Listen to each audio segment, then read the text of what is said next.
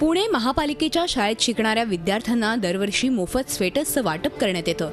यावर्षीच्या स्वेटर खरेदीसाठी जानेवारी दोन हजार चौदामध्ये निविदा मागवण्यात आल्या होत्या. मात्र ती निविदा प्रक्रिया रखडली आणि विद्यार्थी अजूनही स्वेटर्सच्या प्रतीक्षेत आहेत. या स्वेटर खरेदी प्रक्रियेविषयी अनेक प्रश्न उपस्थित झालेत.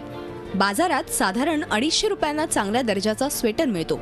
मात्र शिक्षण मंडळानं ज्या निविदा मागवल्या आहेत त्यामध्ये स्वेटरची किंमत तीनशे चौऱ्याण्णव ते चारशे एकोणचाळीस इतकी आहे. या दराने स्वेटर्सची खरेदी केल्यास महापालिकेला सुमारे अडुसष्ट लाखांचा अतिरिक्त भुर्दंड पडणार असल्याचा दावा सजग नागरिक मंचानं केलाय.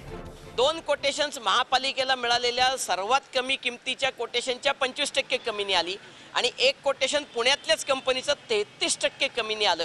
म्हणजे थोडक्यात अडुसष्ट लाख रुपये हे आत्ताच्या टेंडर प्रोसेसमध्ये महापालिकेचं शिक्षण मंडळ जास्तीचे मोजत आहे खरेदी प्रक्रियेचे अधिकार कुणाला? यावरून निर्माण झालेला तिढा तसंच निवडणूक आचारसंहितेमुळे स्वेटर खरेदी रखडल्याचं स्पष्टीकरण शिक्षण मंडळानं दिलंय. टेंडर प्रक्रिया पुढचे निवड त्यानंतर वर पाठवणं आणि यामध्येच स आचारसंहिता लागली. आचारसंहितेनंतर पुन्हा शिक्षण मंडळाचे अधिकार हे गेले निश्चित झाले. मग ते महानगरपालिकेकडे गेले तर त्या- त्यामुळेही विलंब होतोय.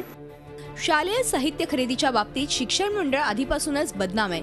त्याचप्रमाणे कुठलीच गोष्ट वेळेत न मिळणं यासाठीही शिक्षण मंडळ प्रसिद्ध आहे. आता या स्वेटर खरेदीचं काय होतं आणि पुढच्या हिवाळ्यात तरी यंदाच्या हिवाळ्यातले स्वेटर मिळतात का ते पाहावं लागेल. Arun मेहत्रेसह bureau report Zee media Pune.